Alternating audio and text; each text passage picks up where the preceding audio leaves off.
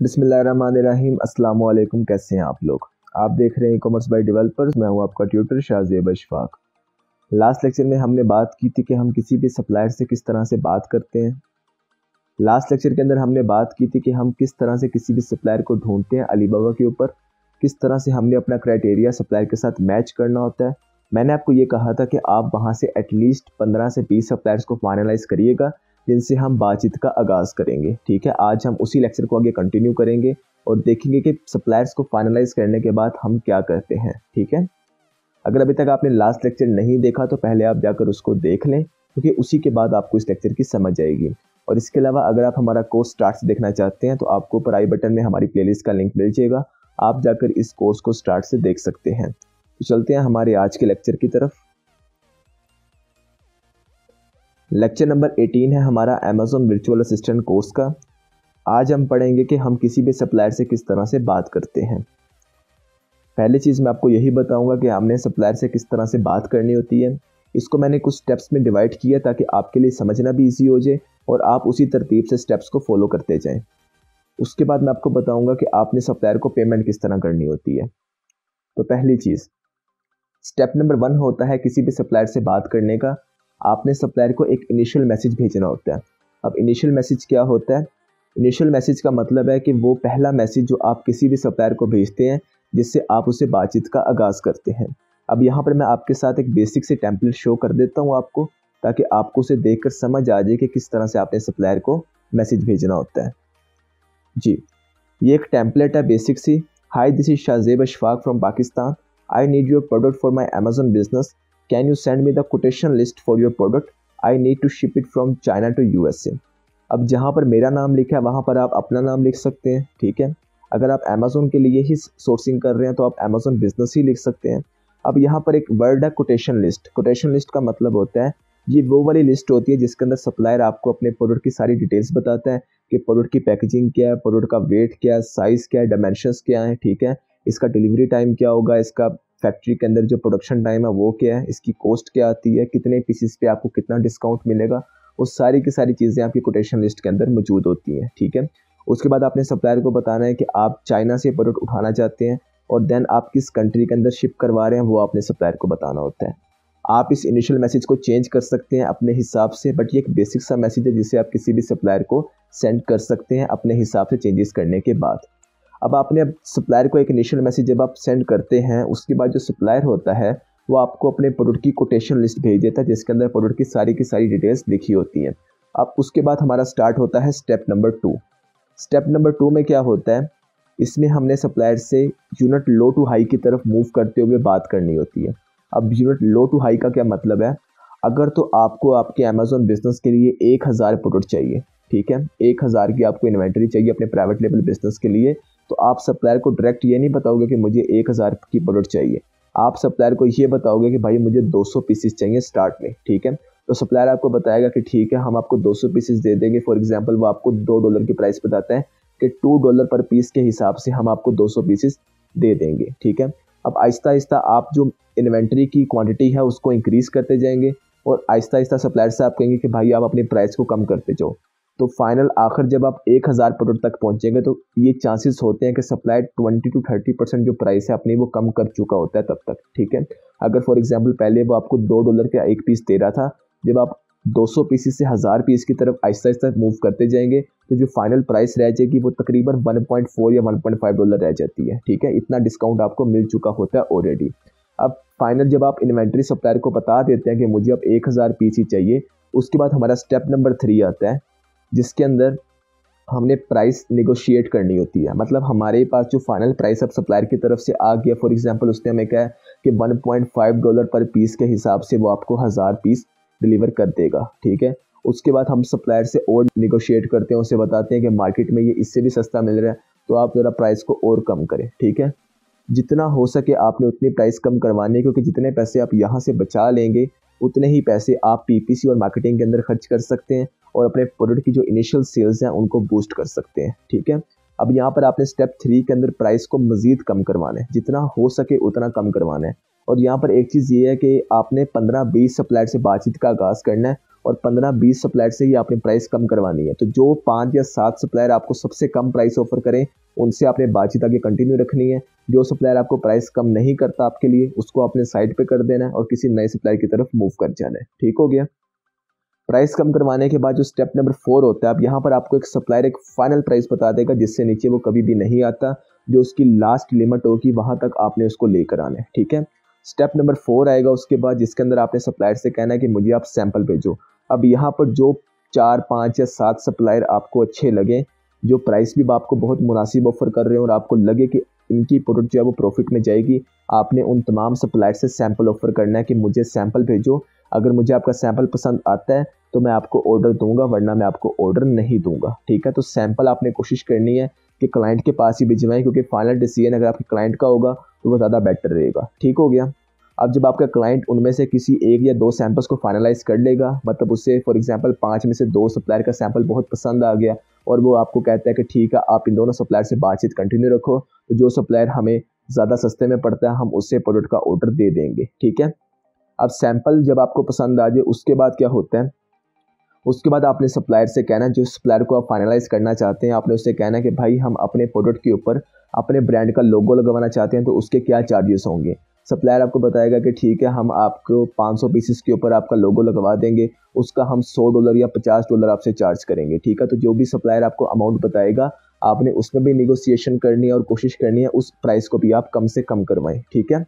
लोगो making के charges भी आपने सप्लायर से पूछने हैं। उसके बाद क्या होगा? स्टेप नंबर सिक्स के अंदर आपने सप्लायर से कहना है कि प्रोडक्ट की पैकेजिंग वो किस तरह की ऑफ़र करता है। अब यहाँ पर आपको सप्लायर डिफरेंट पैकेजिंग बताएगा कि अगर तो आप पॉलीथीन बैग में जाते हैं तो आपको सबसे सस्ती पड़ती है। तो नॉर्मल सा एक बैग होता है पॉलीथीन का।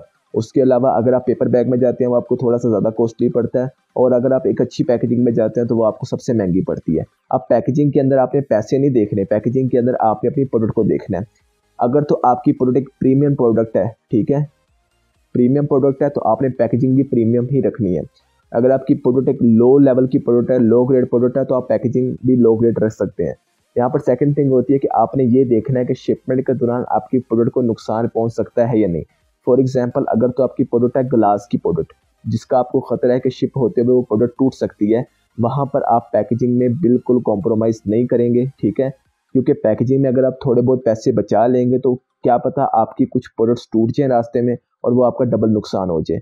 तो पैकेजिंग के अंदर आपने पैसे हरगिज नहीं देखने पैकेजिंग के अंदर आपने सिर्फ़ अपनी प्रोडक्ट के ऊपर नज़र रखनी है कि आपकी प्रोडक्ट किस तरह की है। अगर तो आपकी प्रोडक्ट ऐसी है कि वो रास्ते में बिल्कुल ख़राब नहीं हो सकती देन आप पैकेजिंग के अंदर थोड़ा बहुत कॉम्प्रोमाइज़ कर सकते हैं। बट अगर तो आपकी प्रोडक्ट ऐसी है जो रास्ते में टूट सकती है या ख़राब हो सकती है देन आप पैकेजिंग में बिल्कुल कॉम्प्रोमाइज़ ना करिएगा। आप पैकेजिंग जब आप सप्लायर को बताएँगे कि मुझे किस ग्रेड की पैकेजिंग चाहिए, वो आपको उसकी प्राइस बताएगा कि इस ग्रेड की पैकेजिंग की ये प्राइस है। तो आपने उसमें भी प्राइस में नेगोशिएशन करनी है और कोशिश करनी है कि उस प्राइस को भी आप कम से कम करवा सकें। पैकेजिंग के बाद जो स्टेप नंबर सेवन आएगा हमारा, उसके अंदर होगा बार कोड अटैचमेंट आप अपनी प्रोडक्ट के ऊपर बार कोड्स लगवाएँगे, ठीक है?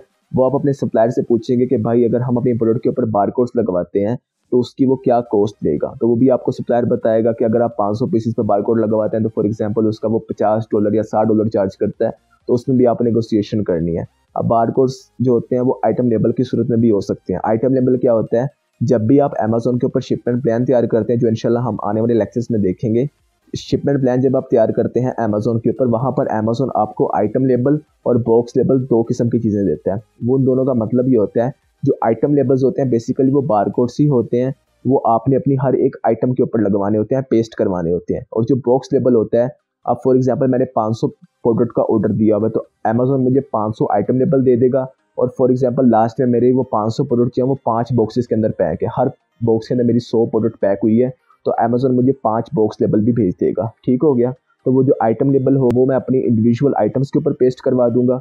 और जो मेरा बॉक्स लेबल होगा, वो मैं अपने पूरे बॉक्स के ऊपर पेस्ट करवा दूँगा। तो बार कोड की आपने अटैचमेंट करवानी होती है, जो कि आप उसके भी चार्जेस आप सप्लायर से पूछते हैं कि बार कोड अटैचमेंट के वो क्या चार्जेस लेगा। ठीक है? उसमें फिर आप नेगोशिएशन करेंगे और कोशिश करेंगे कि जितने पैसे आप बचा सकें, उतना ही बेहतर है। बार कोड अटैचमेंट के बाद स्टेप नंबर एट आता है। आपने उससे पूछना है कि भाई अब आप एडवांस पेमेंट कितनी लोगे? मतलब कितने परसेंट आप एडवांस दोगे और किस तरह से आप पेमेंट एक्सेप्ट करोगे? तो सप्लायर आपको बताता है कि ठीक है, आप मुझे thirty to forty percent advance दे दें और ट्रेड इंश्योरेंस के ज़रिए पे कर दें तो ठीक है। ठीक हो गया। तो सप्लायर आपको यहाँ पर एक अमाउंट बताएगा कि आप मुझे फोर्टी परसेंट या फिफ्टी परसेंट एडवांस दें। आपने कोशिश करनी है कि जितना कम पैसे आप एडवांस में दे सकें, उतना ही बेहतर है, ताकि बाद में इंस्पेक्शन करवाने के बाद आप बाकी की पेमेंट सप्लायर को करें। ठीक हो गया? यहाँ पर जो नॉर्मल सप्लायर होते हैं, वो थर्टी टू फोर्टी परसेंट के अंदर एग्री कर जाते हैं और इतनी अपफ्रंट पेमेंट के ऊपर वो आपकी प्रोडक्ट को तैयार करना स्टार्ट कर देते हैं। उसके बाद क्या होगा? स्टेप नंबर नाइन के अंदर आपने सप्लायर से N O C declaration letter लेना है। एन ओ सी का मतलब होता है नो ऑब्जेक्शन सर्टिफिकेट इस लेटर के अंदर सप्लायर आपको बताएगा कि मैं इस सेलर को अलाउ कर रहा हूँ कि ये मेरी प्रोडक्ट अपने ब्रांड के लोगों के साथ अमेज़ोन के ऊपर सेल कर सकता है। मुझे उसमें कोई भी ऑब्जेक्शन नहीं है। ये लेटर कल को अमेज़ोन आपसे ज़रूर डिमांड करेगा तो ये लेटर आपने सप्लायर से ज़रूर बनवाना है। जब आप उसे प्रोडक्ट फाइनलाइज कर देंगे पेमेंट तक आपकी बात पहुँच जाएगी। उसके बाद आपने सप्लायर से कहना कि मुझे एक एनओसी लेटर आप भेजें।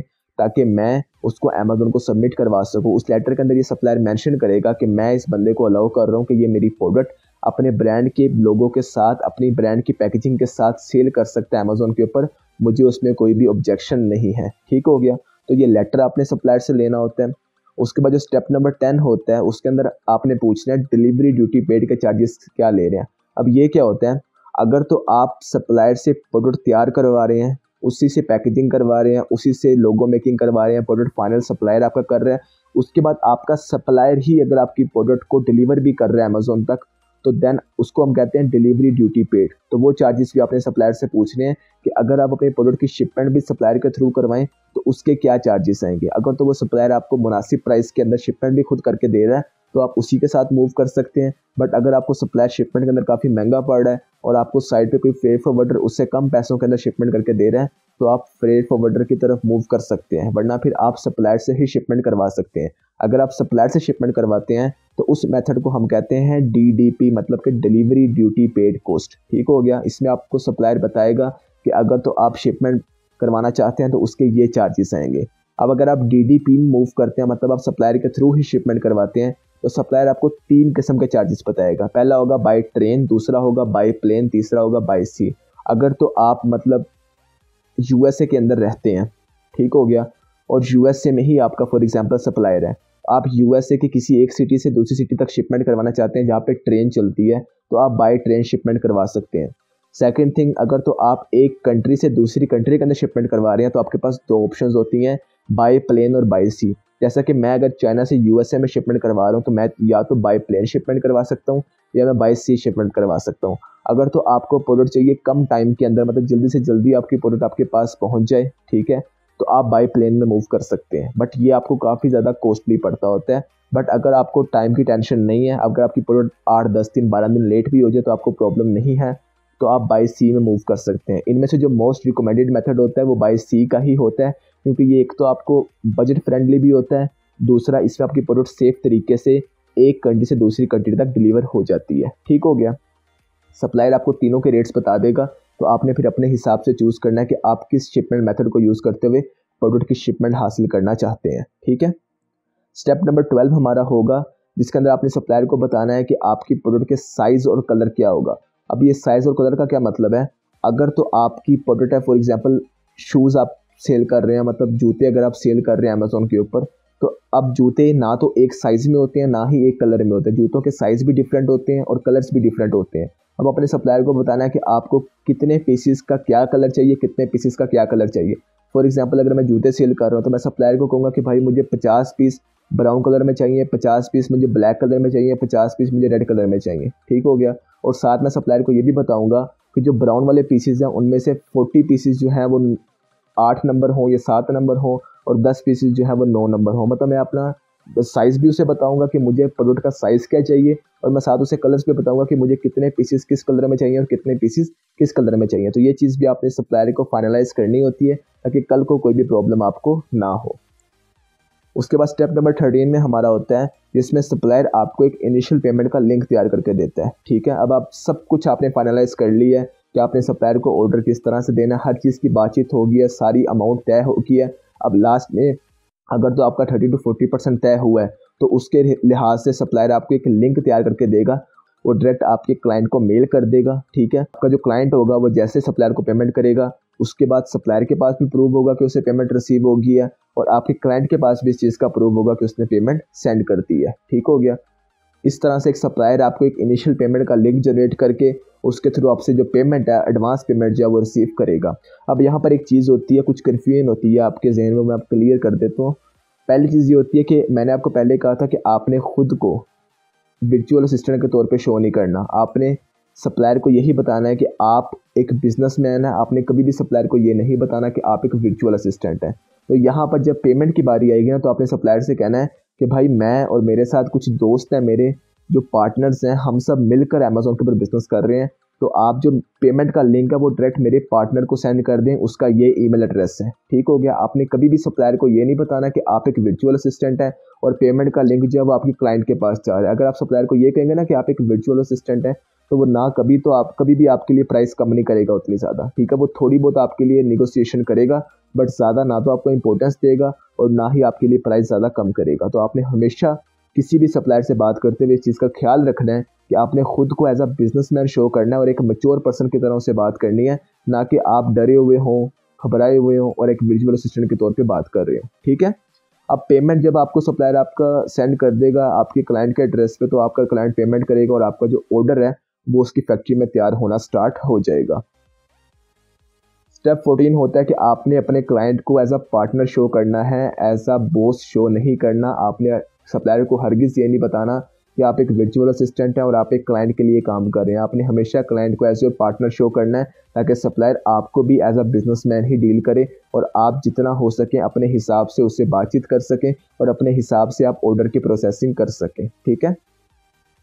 अब शिपमेंट के जो होते हैं ना, वो तीन मेथड होते हैं। पहला तो मैंने आपको बता दिया ना कि डीडीपी होता है डिलीवरी ड्यूटी पेड उसके अलावा दो मेथड्स और भी होते हैं, वो मैं आपके साथ शेयर कर देता हूँ। फ़र्स्ट मेथड होता है शिपमेंट का D A P delivery at point दूसरा मेथड होता है F O B free of boards तीसरा मेथड जो आपने पहले भी पढ़ा है डी डी पी इन में फ़र्क क्या होता है? जो पहला मेथड है ना डी ए पी इसके अंदर आपका सप्लायर आपके प्रोडक्ट को फैक्ट्री में तैयार करेगा, उसके ऊपर आपके ब्रांड का लोगो लगवाएगा, उसकी पैकेजिंग करेगा प्रोडक्ट पैक करके अपनी फैक्ट्री में रख देगा और आपको इन्फॉर्म कर देगा कि आपकी प्रोडक्ट रेडी हो गई है। आपने क्या करना है? आपने एक फ्रेड फॉरवर्डर को हायर करना है। फ्रेड फॉरवर्डर कौन सा बंदा होता है जो आपकी प्रोडक्ट को एक जगह से दूसरी जगह शिप करेगा? आपने फ्रेड फॉरवर्डर को हायर करना है। हायर करने के बाद आपने अपनी प्रोडक्ट को सप्लायर की फैक्ट्री से उठवाना है और अमेजोन की इन्वेंट्री तक भिजवाना है। ठीक हो गया? तो उस मेथड को हम कहते हैं डी ए पी जिसमें सप्लायर हर गिज इन्वॉल्व नहीं होता शिपमेंट के अंदर। टोटल शिपमेंट की ज़िम्मेदारी आपकी होती है।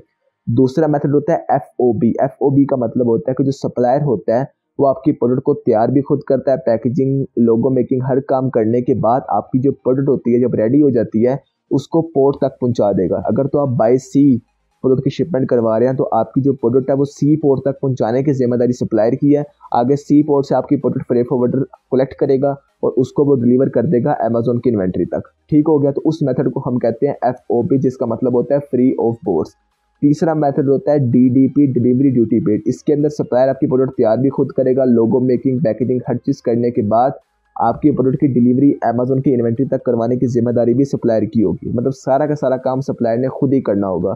तो उसके अंदर होता है डीडीपी इसके अंदर से आपने देखना है कि आपको कौन सा मेथड सबसे ज़्यादा सस्ते में पड़ रहा है और जल्दी काम आपका हो रहा है तो आपने उस मेथड के साथ मूव करना है। ठीक हो गया? ये टोटली आपने और आपने क्लाइंट ने डिसाइड करना है। इसमें आपने हरगिज़ किसी और बंदे से राय नहीं लेनी, किसी और बंदे को आपने इन्वॉल्व नहीं करना। आपने देखना है कि इन तीनों मेथड में से कौन सा मेथड आपको एक तो टाइम सेविंग है और दूसरा सस्ते में पड़ रहा है। ठीक है? उम्मीद करता हूँ आपको समझ आ गई होगी कि किस तरह से हमने सप्लायर से बात करनी होती है। इन्हीं स्टेप्स को आपने फॉलो करना है, किसी भी सप्लायर से बात करते हुए। हर चीज़ आपने हेजिटेट नहीं होना और कभी भी खुद को as a virtual assistant show नहीं करना। ठीक हो गया? कोई भी अगर आप मुझसे क्वेश्चन पूछना चाहते हैं तो आप मुझे कमेंट सेक्शन में मुझसे पूछ सकते हैं। इसके अलावा अगर आप मुझसे कॉन्टैक्ट करना चाहते हैं तो आप मुझसे फेसबुक पर और इंस्टाग्राम पर दोनों तरीक़ों से कॉन्टैक्ट भी कर सकते हैं। इन आपसे नेक्स्ट वीडियो में मुलाकात होती है। तब तक के लिए आप अपना ख्याल रखिएगा। अल्लाह हाफिज़।